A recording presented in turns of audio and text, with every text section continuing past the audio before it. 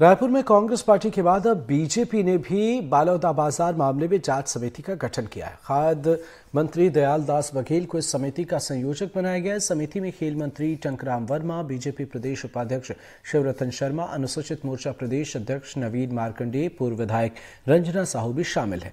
समिति के सभी सदस्य बालौदा बाज़ार मामले की जाँच करेंगे। जाँच के बाद सात दिन के अंदर पार्टी को मामले की रिपोर्ट सौंपी जाएगी।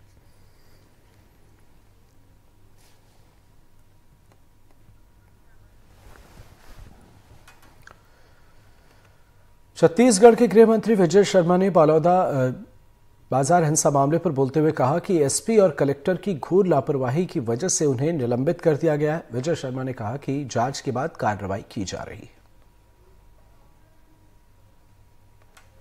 के बाद सवाल उठना लाजमी है। मैं गृह मंत्री होने के बाद भी इस बात को कह रहा हूँ। तभी पहलुओं पर जाँच करना है, क्योंकि ये कोई सामान्य घटना तो है नहीं। समाज का विषय है नहीं। समाज के लोग प्रतिदिन प्रमुख लोग माननीय मुख्यमंत्री जी के पास आकर के स्पष्ट कर रहे हैं कि समाज का कोई विषय नहीं है, समाज तो संतुष्ट है। और समाज का सब कुछ कहना है। असामाजिक लोगों ने किया है। अब ये कैसे हुआ? क्या बताना चाहते हैं करके? बहुत सारे ऐसे बिंदु हैं जिन पर जानकारी होनी चाहिए। हाँ राजनीतिक ना करें, राजनीति ना करें उसमें। उसमें जो दिखता है अगर वो बता पाए तो बात समझ में आएगी। बहुत सारे नेतागण भी उसमें संलिप्त है, पता चलता है। तो उस पर भी जाँच हो रही है। उनको भी इस बात पर स्पष्टता के साथ कहना चाहिए।